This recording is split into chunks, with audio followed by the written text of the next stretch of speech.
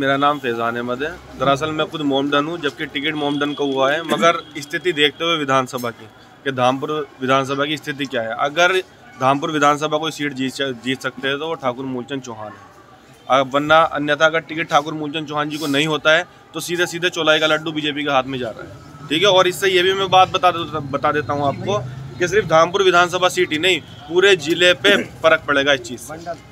पूरे ज़िले पर पूरे ज़िले की आठों की आठों सीट खतरे में है इसलिए हम हमारा अनुरोध है राष्ट्रीय अध्यक्ष जी से कि समाजवादी पार्टी से टिकट ठाकुर मूलचंद चौहान जी को दिया जाए